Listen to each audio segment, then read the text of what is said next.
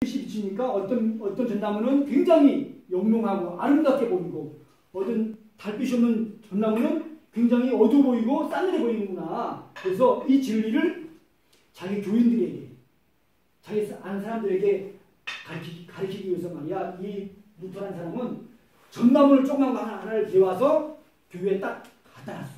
그리고 걷다가 눈을 상징하는 솜을 솜을 달았어. 전나무에다가. 그리고 빛을 상징하는 별을 단 예수님을 상징하는 별을 단 거야. 종이별을.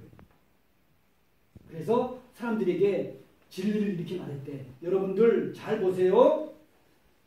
어, 산에 있는 전나무가 눈이 와서 다 눈을 다 안고 있는데 어떤 전나무는 굉장히 화려하고 빛이 있어요. 근데 어떤 전나무는 빛이 없어요. 화려하지 않아요. 굉장히 어둡고 싸늘해 보여요. 왜일까요?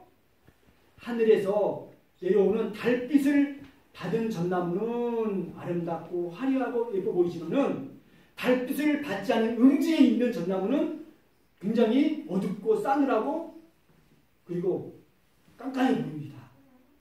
그것이 바로 우리 인간도 마찬가지예요.